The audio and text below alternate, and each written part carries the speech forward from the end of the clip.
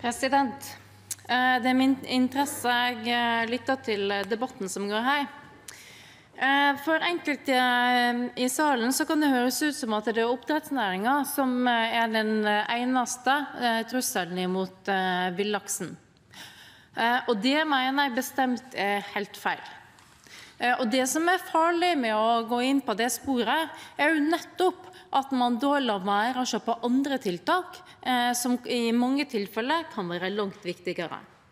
Eh, og jeg vil også nevne at de, På de områdene, som med Nausta som et godt eksempel, god lakseelv i, Sogn og Fjordane, der man har inngått et samarbeid mellom grunneiere, kraftlag, eh, laksefiskere, oppdrettsnæringa Eh, og forvaltninga gjennom fylkeskommune og fylkesmann har fått til et veldig godt samarbeid på, med en mye bedre forvaltning enn hva man ser i mange andre lakseelver, som nettopp har klart å få økt opp eh, laksefisket og fått tatt vare på bestandene på en særdeles god måte. Og så mener jeg Som politiker så er vår oppgave å legge til rette for langsiktige rammebetingelser for vårt næringsliv. Ja, og også, det er vi som skal stille krav, vi skal stille målkrav. Eh, men den dagen vi går i den fella med å begynne å stille detaljer om ulike teknologier, så mener jeg at vi har tatt på oss en oppgave som eh, eh, blir for stor og lite hensiktsmessig. Og Som tidligere havbruksveterinær så vil jeg òg flagge det med dyrevelferden ganske høyt.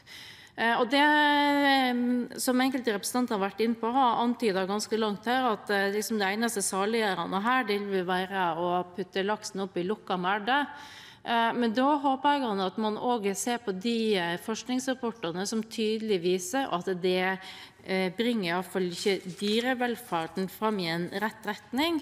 Jeg mener òg at da går man bort fra nettopp de naturgitte forholdene som er så viktige her i landet.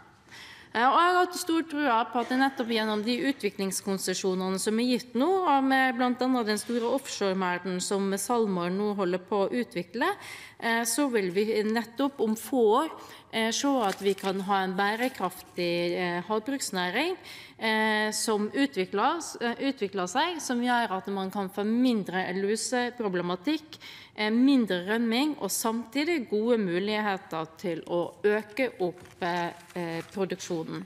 Eh, og så vil jeg bare til slutt ta med at I budsjettforslaget var det ingen parti som bevilga tilstrekkelig med midler for å bygge den genbanken som mange har talt veldig varmt om.